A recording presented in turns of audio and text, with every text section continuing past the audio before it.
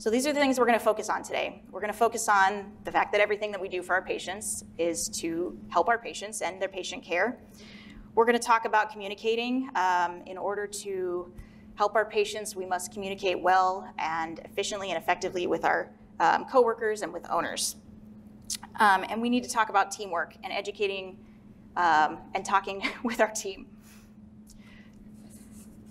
So starting with the basics, which Megan Bergier drilled into us, um, triage templates are really important. Uh, having an understanding of the different levels of urgency of emergencies is really important.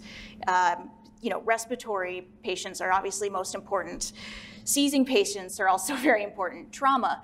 But the hard part when you look at breaking things down, as you can see at um, the table on the left, when you're seeing patients that have severe respiratory disease versus a urinary obstruction, that urinary obstruction could have respiratory, um, have, have a respiratory disorder, and so that then bumps it up.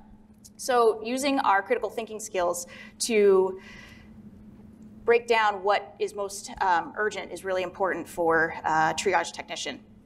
Um, and then having phone triage questions or regular triage questions in your pocket, having verbiage there already is really important and really helpful for, um, for talking with clients and being prepared.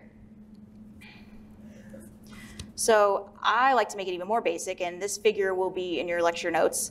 Um, so starting with introducing yourself, um, answering the phone and introducing yourself. Say, I'm Jessica, I'm a CVT here.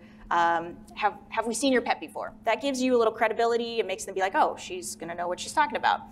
Um, and then you can also look up their account at that time if, if they've been there before.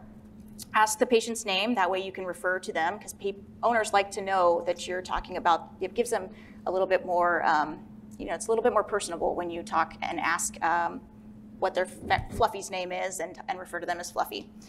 Um, ask their species and their breed because um, you know a golden in respiratory distress may not be as worrisome as a pug in respiratory distress.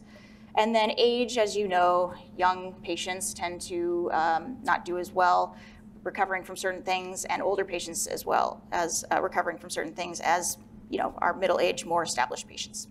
Um, sex, are they altered? Because that could be the difference between a pyometra or not. Um, and then their main concern, I always ask, so why are you calling today? Because you know how people will go off on two weeks ago, this happened. And then how long has that been going on? And then from there, you can kind of help lead these owners down a road and ask um, what kind of pertinent medical history there is or their current medications that they're on. Sometimes they don't remember that their patient may be a um, has heart disease until they say, well, we're on um, and pimobendan. Then you're like, oh, so he has some history of some heart disease. And then they remember, oh, yes, yes, that's what that is. So I've put this list together, and this will also be in your notes. Um, and there's two slides of all of the different questions that you can use to help jog your memory. Because when we're busy in the middle of the day, in between dentals or in between triages or in between spays and neuters, it's hard to center yourself and remember and, and really ground yourself and talk to that client that's on the other end of the phone. So these will help you be like, oh, they said this, maybe I should ask this question. So a lot of these ones that I like in here is, you know, asking about their gum color.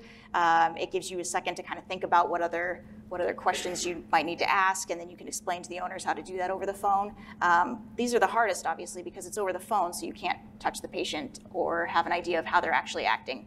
Um, and then asking things like, is there anything they could have gotten into? I've noticed that when I start to list certain things, such as does your Labrador like to eat toys, or does your um, cat like to counter surf, and ask different medications that maybe they remember, oh yeah, actually I had some Advil on the counter, maybe, maybe that, and I can't find it now. Maybe they ate that. Um, some more questions. For vomiting and diarrhea, they're pretty much kind of the same thing. How long has it been going on? Are they still eating? How, any change in food? And then you know they talk about changing food, and do you go down that rabbit hole of like, well, did you do that transition gradually or not?